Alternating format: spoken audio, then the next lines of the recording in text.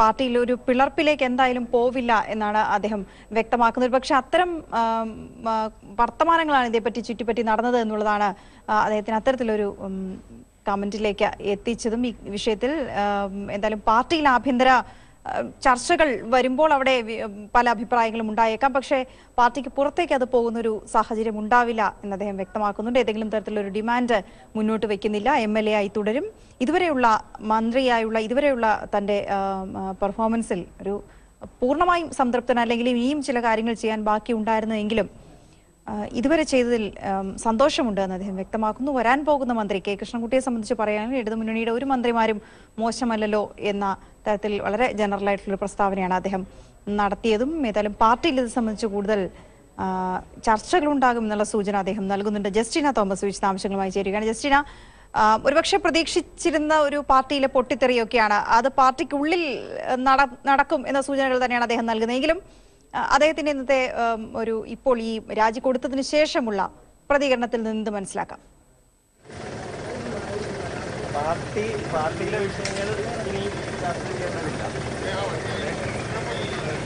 വീണ അദ്ദേഹം ഇനി എന്ത് നടക്കും എന്നതിനെക്കുറിച്ച് കാര്യമായി മാധ്യമപ്രവർത്തകരോട് മനസ്സ് തുറന്നില്ല. എങ്കിലും അദ്ദേഹം വ്യക്തമായി പറഞ്ഞത് പാർട്ടി പിളരില്ല. ഒരു എം എന്ന നിലയിൽ തന്റെ പ്രവർത്തനങ്ങളുമായി മുന്നോട്ട് പോകും. ബാക്കി കാര്യങ്ങൾ ആലോചിച്ച് തീരുമാനിക്കും എന്നുള്ള ഒരു മറുപടിയാണ് മുഖ്യമന്ത്രിയെ കണ്ട് ക്ലിഫ് ഹൌസിലെത്തി രാജി നൽകിയ ശേഷം മാധ്യമപ്രവർത്തകരോട് സംസാരിച്ചപ്പോൾ മാത്യു ടി തോമസ് വ്യക്തമാക്കിയത് രണ്ടര വർഷക്കാലം മികച്ച രീതിയിൽ പ്രവർത്തിക്കാൻ കഴിഞ്ഞു എന്നുള്ള ഒരു സംതൃപ്തിയോട് കൂടിയാണ് മന്ത്രിസ്ഥാനത്ത് നിന്ന് പടിയിറങ്ങുന്നത് എന്നും മാത്യു ടി തോമസ് പറഞ്ഞു വെച്ചിരിക്കുന്നു. പാർട്ടി പിളരുമോ എന്നുള്ള ചോദ്യത്തിന് അദ്ദേഹം ഉറപ്പോടെ മറുപടി നൽകിയത് പാർട്ടി പിളരില്ല. ഇടതുമുന്നണിയിൽ തന്നെ ഈ ഒരു പാർട്ടിയുടെ ഭാഗമായി നിന്നുകൊണ്ട് തന്നെ പ്രവർത്തിക്കും തുടർ പ്രവർത്തനങ്ങളുമായി മുന്നോട്ട് പോകും എന്നുള്ളതാണ് മാത്യു ടി തോമസ് ഇപ്പോൾ വ്യക്തമാക്കിയിരിക്കുന്നത്. നമുക്കറിയാം വലിയ തോതിലുള്ള പാർട്ടിയിലെ ഭിന്നതകൾക്ക് ശേഷം കൂടിയാണ് അദ്ദേഹം രാജിവെക്കുന്നത്. വളഞ്ഞ വഴികളിലൂടെ കെ കൃഷ്ണൻകുട്ടി മന്ത്രിയായി അല്ലെങ്കിൽ മന്ത്രിയാകാൻ ശ്രമിച്ചു എന്നുള്ള ഒരു ആക്ഷേപമാണ് ആദ്യം മുതൽ തന്നെ മാത്യു ടി മുന്നോട്ട് വയ്ക്കുന്നത്. അതുകൊണ്ട് തന്നെ വരും ദിവസങ്ങളിലും പാർട്ടിക്കുള്ളിൽ ആഭ്യന്തര പ്രശ്നങ്ങൾ രൂക്ഷമാകും എന്നുള്ള കാര്യം ഉറപ്പാണ്. അദ്ദേഹത്തിന്റെ രാജി സ്വീകരിച്ച ശേഷം മുഖ്യമന്ത്രി ഇപ്പോൾ പൊതുപരിപാടിക്ക് വേണ്ടി പുറത്തേക്ക് പോകുന്നതിന്റെ ദൃശ്യങ്ങളാണ് നമ്മൾ കണ്ടത്. ഇതുമായി ബന്ധപ്പെട്ടുള്ള കൂടുതൽ പ്രതികരണങ്ങൾ ഇനി വരേണ്ടിയിരിക്കുന്നു. മാധ്യമപ്രവർത്തകരെ ഇവിടെ നിന്ന് രാജിവെച്ച് വീട്ടിലേക്ക് ഭാര്യയോടൊപ്പം കാൽനടയായിട്ടാണ് മാത്യു ടി തോമസ് ക്ലിഫ് ഹൗസിന് തൊട്ട് അടുത്തുള്ള വീട്ടിലേക്ക് പോയത്.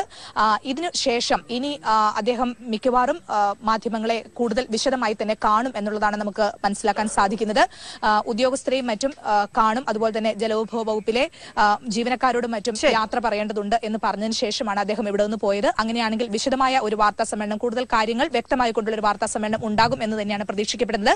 ഏതായാലും രണ്ടര വർഷത്തിന് ശേഷം രണ്ടര വർഷത്തെ സംശുദ്ധമായ മന്ത്രി മന്ത്രിസ്ഥാനം വഹിച്ചതിന് ശേഷം മാത്യു ടി തോമസ് രാജിവെച്ചൊഴിഞ്ഞിരിക്കുന്നു ഇത് രണ്ടാം തവണയാണ് മാത്യു ടി തോമസ് പാതി വഴിയിൽ മന്ത്രിസ്ഥാനം രാജിവെക്കുന്നത്. നേരത്തെ രണ്ടായിരത്തി ആറിൽ വി എസ് മന്ത്രിസഭയുടെ കാലത്തും ഇത്തരത്തിൽ സി പി എമ്മുമായുള്ള ലോക്സഭാ സീറ്റ് സംബന്ധിച്ചുള്ള തർക്കത്തെ തുടർന്ന് മാത്യു ടി തോമസ് രാജി നൽകിയിരുന്നു. രണ്ടാം വട്ടം ഇപ്പോൾ പിണറായി മന്ത്രിസഭയിൽ നിന്നും മാത്യു ടി തോമസ് രാജിവെച്ച് ഒഴിഞ്ഞിരിക്കുന്നു. ഇനി Chittur M L A K കൃഷ്ണൻകുട്ടിയായിരിക്കും അടുത്ത മന്ത്രിയായി സത്യപ്രതിജ്ഞ ചെയ്യുക. അദ്ദേഹത്തിന്റെ സത്യപ്രതിജ്ഞ നാളെ തന്നെ ഉണ്ടാകാനാണ് സാധ്യത. വീണ.